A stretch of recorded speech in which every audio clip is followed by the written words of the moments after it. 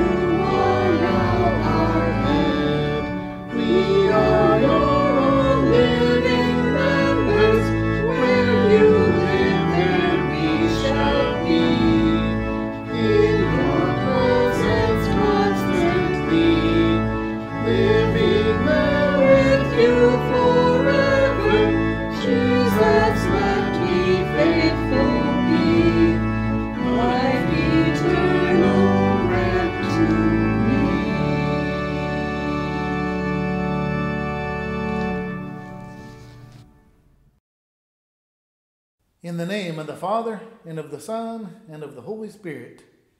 Amen. Our help is in the name of the Lord, who made heaven and earth. If you, O Lord, kept a record of sins, O Lord, who could stand? But with you there is forgiveness, therefore you are feared.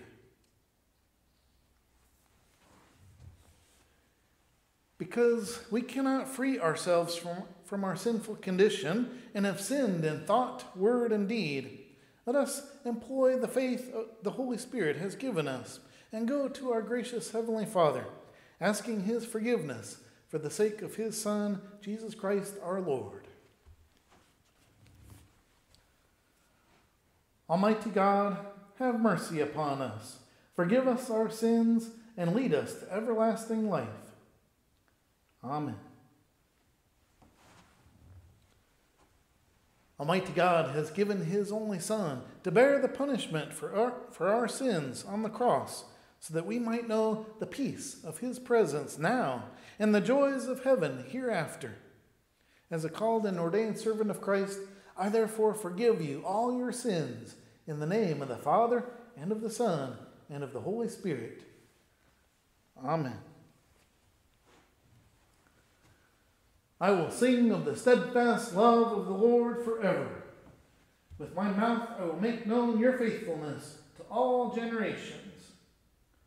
Blessed are the people who know the festal shout, who walk, O Lord, in the light of your face, who exult in your name all the day, and in your righteousness are exalted. For you are the glory of their strength. By your favor our horn is exalted. For our shield belongs to the Lord, our King to the Holy One of Israel. Glory be to the Father, and to the Son, and to the Holy Spirit, as it was in the beginning, is now, and will be forever. Amen. I will sing of the steadfast love of the Lord forever. With my mouth I will make known your faithfulness to all generations.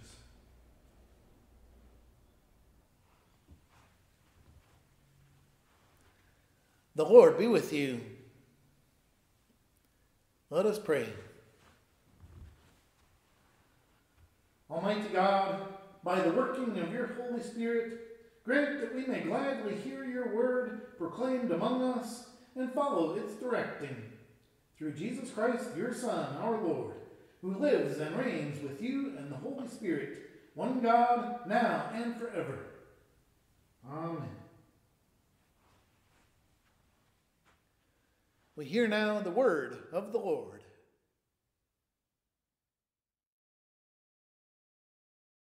The Old Testament reading for the fifth Sunday after Pentecost is written in the book of the prophet Jeremiah, the 28th chapter.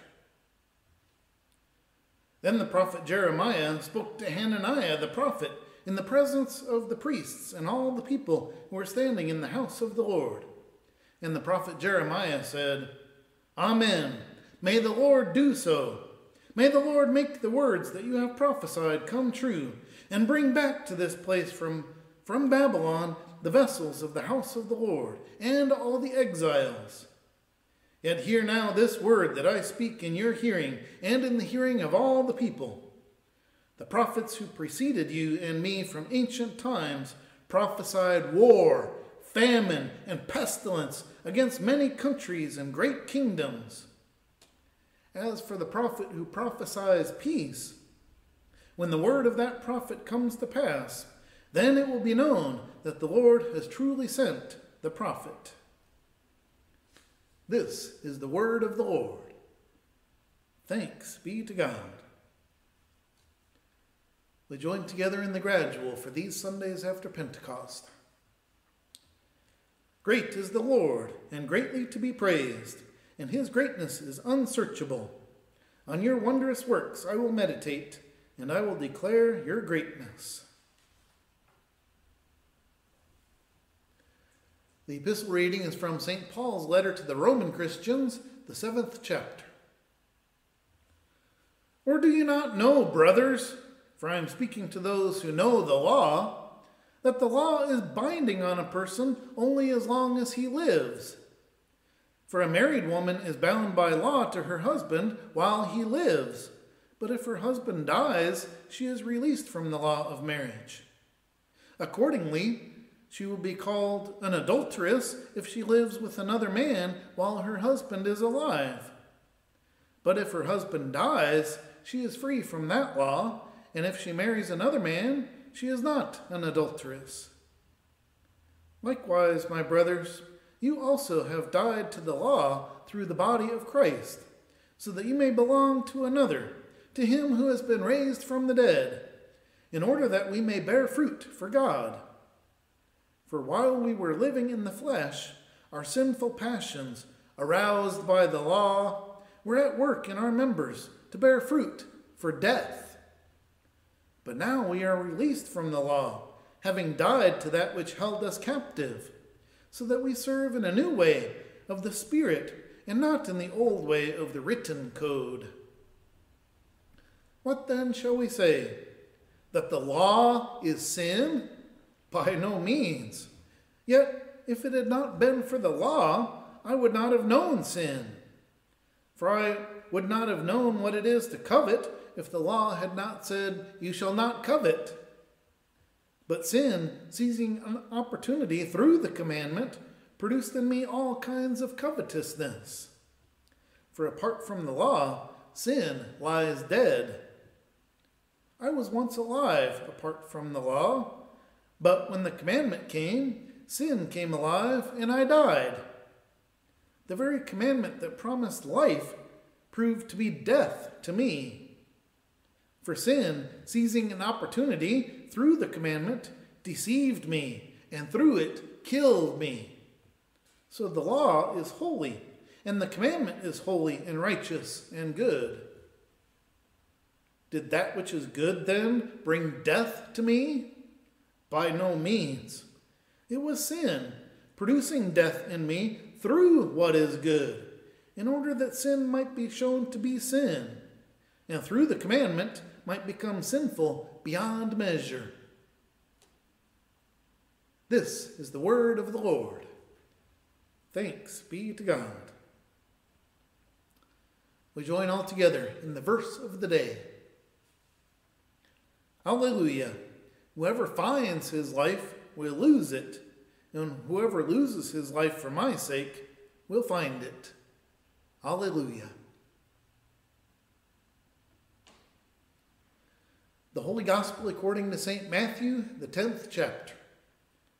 Glory to you, O Lord. Jesus said, Do not think that I have come to bring peace to the earth. I have not come to bring peace, but a sword. For I have come to set a man against his father, and a daughter against her mother, and a daughter in law against her mother in law and a person's enemies will be those of his own household. Whoever loves father or mother more than me is not worthy of me, and whoever loves son or daughter more than me is not worthy of me. And whoever does not take his cross and follow me is not worthy of me. Whoever finds his life will lose it, and whoever loses his life for my sake will find it. Whoever receives you receives me, and whoever receives me receives him who sent me. The one who receives a prophet because he is a prophet will receive a prophet's reward. And the one who receives a righteous person because he is a righteous person will receive a righteous person's reward. And whoever gives one of these little ones even a cup of cold water because he is a disciple, Truly, I say to you, he will by no means lose his reward. This is the gospel of the Lord. Praise to you, O Christ.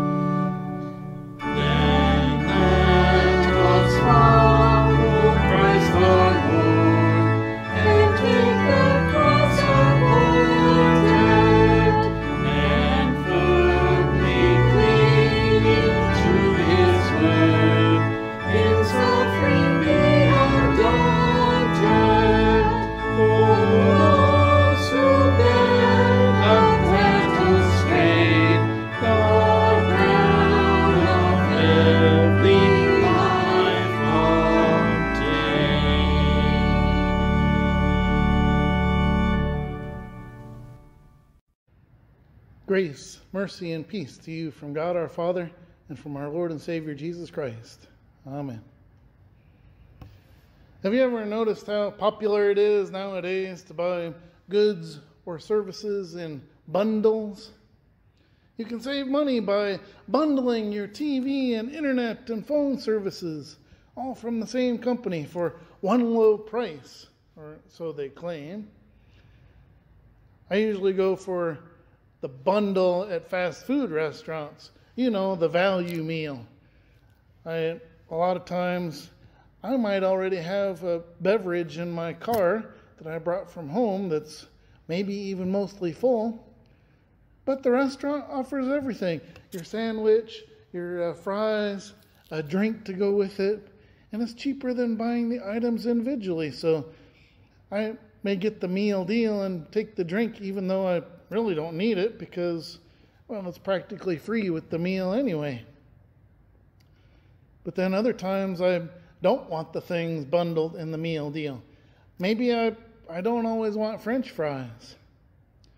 So skipping the fries and the drink might only save me, you know, 50 cents or 75 cents or something like that. I don't know. But why pay even 75 cents for items that I don't want? And so that's why I like ordering from a dollar menu or something like that. I can just pick and choose the items that I, that I want and not have to pay for things that I don't want. Have you ever gotten some sort of bundle or package deal so that you could get one item and it came with other items that you didn't care about?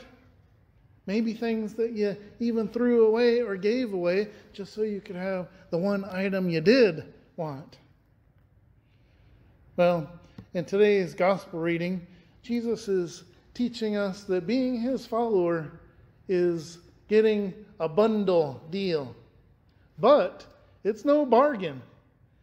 And this is one of those bundles where the only way you get what you really need is to get it bundled with some things that you definitely don't want.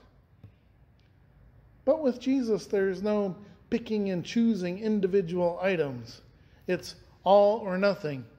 That's the deal, non negotiable. So, what's, what's the deal Jesus is offering us? Well, in our Matthew 10 reading for today, Jesus starts out with the whole truth without pulling any punches. Do not think that I have come to bring peace to the earth. I have not come to bring peace, but a sword. Now, I would never try to think that I'm smarter than the Lord, but my advice to Jesus would be here Lord, this is not a very good marketing technique. If you want people to follow you, Lord, you don't start off presenting your package deal with something negative like a sword. I mean, think about it. Jesus would not be a very good salesman because it sounds like he's starting out his appeal saying, Now, don't think that you're getting a bargain here. This is no bargain, it's a major pain. I guess that really illustrates the idea of truth in advertising, doesn't it? But think about what this means for you and me. As followers of Jesus, we're going to get one thing we're going to get in this bundle deal that Jesus is offering us is a sword, which represents conflict. As soon as you start following Jesus, even the members of your own family or household may be in conflict with you. Now remember, this is a bundle deal. And the first thing you get in this bundle is Jesus Himself. All of Him. And all the rights and privileges that belong to Jesus. That's a good deal, no matter what else comes in the bundle no matter what you don't want in there, having Jesus is worth it. And believe me, Jesus is a priceless treasure. And all the rights and privileges that come with Jesus are beyond anything that this world has to offer. So, no matter what other things are offered in this bundle deal that you don't want, having Jesus is worth it. And there's no other way to get him. But as Jesus strongly urges us, don't think you're getting a great bargain because the other item packaged along with Jesus in this deal is a sword. But when you have Jesus, automatically, instantly, no ifs, ands, or buts, you are going to be at odds with this world. And yes, even the members of your own family, a lot of times. But Jesus offers himself in this bundle deal. He says, Take me above all else, above everything in this world, above everything in your life. Take all of me and give me all of yourself. It's the most expensive bundle deal of all time because it's going to cost you your very self. It's going to cost you your whole life. But what you have to gain is so much more than yourself or your life. You gain Christ and His life. Now, Jesus the honest deal maker, wants to be absolutely sure about the deal, that you understand the deal that he's offering. So he states it again, two more times in different ways. In verse 38, he says, Whoever does not take up his cross and follow me is not worthy of me. The cross means the same thing as the sword. It means that there is suffering involved. Following Jesus is not going to be a pleasant thing.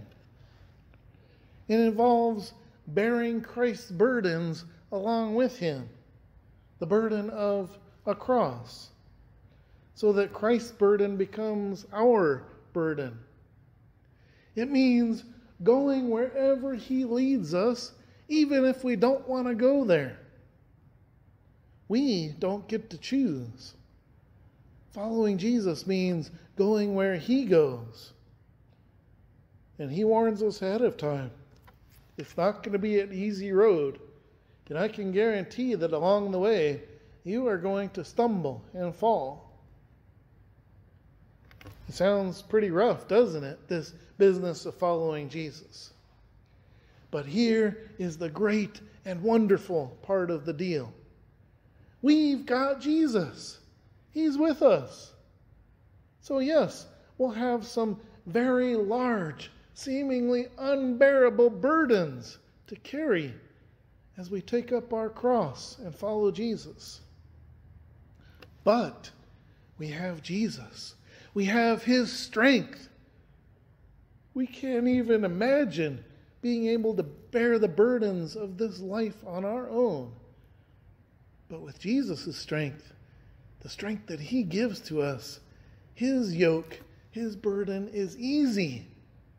His burden is light when we trust in Him, when we follow Him, when we take up our cross of burden. That is all the daily tasks, the, the things that He calls us to do in our everyday lives. It's amazing to us to find out that Jesus is right. With His strength, there is no heavy burden.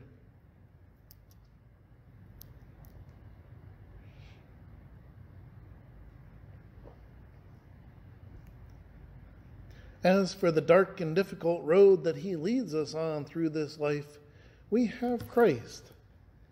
The darkness becomes light, the difficult road becomes easy because we have Christ giving us the light, giving us the strength and the power and the peace that we need to go where He leads, even if it's right through the valley of the shadow of death. When you have Jesus, He's such a wonderful and powerful gift that anything else, a sword, a cross, whatever burden, whatever suffering that comes in this package deal, anything else is worth accepting so that we can have the great blessing of Jesus our Lord and Savior. St. Paul said, I count everything in this world as loss as long as I have Jesus Christ. He is my gain. And so Jesus calls you to follow him. In loving that annoying person who nobody else wants to be around, it seems like too great of a burden to bear to love that person. But Jesus gives you all the love and the patience you'll need. Jesus calls you to give up honor and fame and fortune in the eyes of the world to give yourself in humble service instead. To make Christ the most important priority in your life, even above what other people might think of you.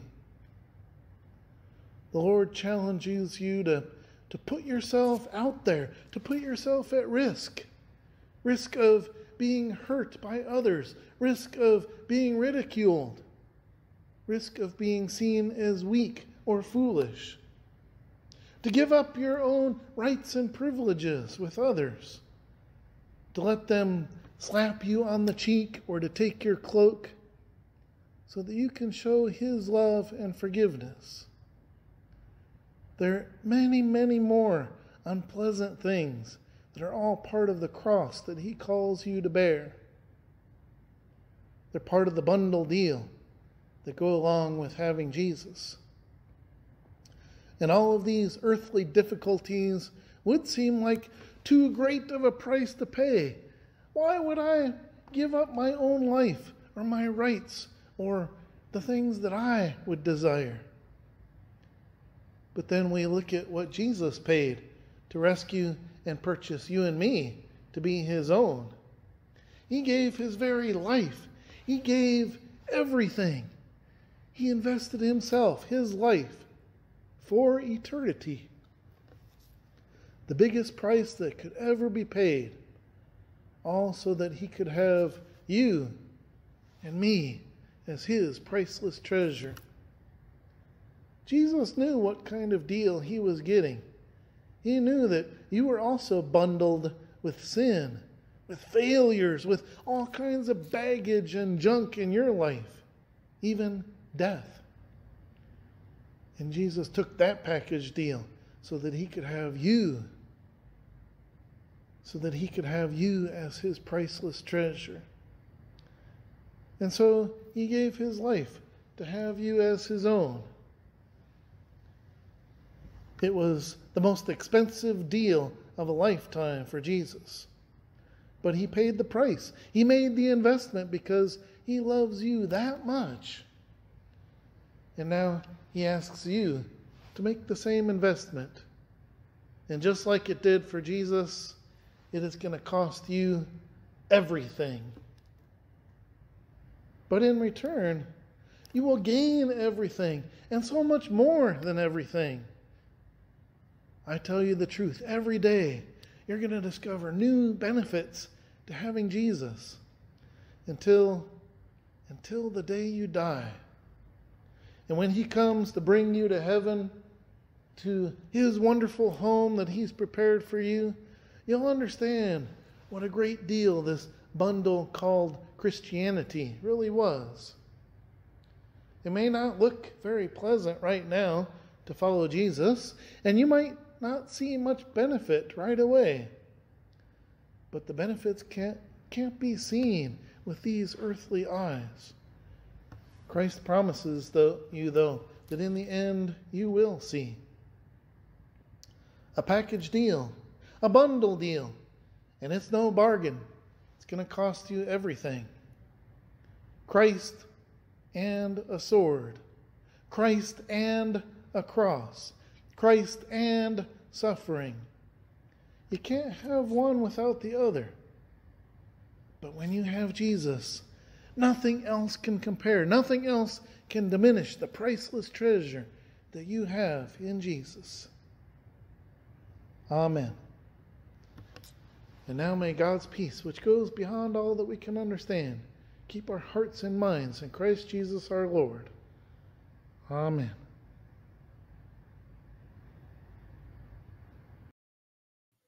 We join with all Christians everywhere in confessing the Apostles' Creed. I believe in God, the Father Almighty, maker of heaven and earth, and in Jesus Christ, his only Son, our Lord, who was conceived by the Holy Spirit, born of the Virgin Mary, suffered under Pontius Pilate, was crucified, died, and was buried. He descended into hell. The third day he rose again from the dead he ascended into heaven and sits at the right hand of God the Father Almighty. From thence he will come to judge the living and the dead. I believe in the Holy Spirit, the holy Christian Church, the communion of saints, the, forgiveness of sins, the resurrection of the body, and the life everlasting. Amen. And now we pray as Christ our Lord has taught us to pray. Our Father, who art in heaven, hallowed be thy name. Thy kingdom come, thy will be done, on earth as it is in heaven. Give us this day our daily bread, and forgive us our trespasses, as we forgive those who trespass against us. And lead us not into temptation, but deliver us from evil.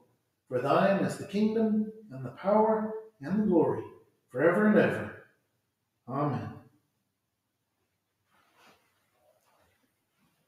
Let us bless the Lord. Thanks be to God. The Lord bless you and keep you. The Lord make his face shine upon you and be gracious to you. The Lord look upon you with favor and give you peace. Amen.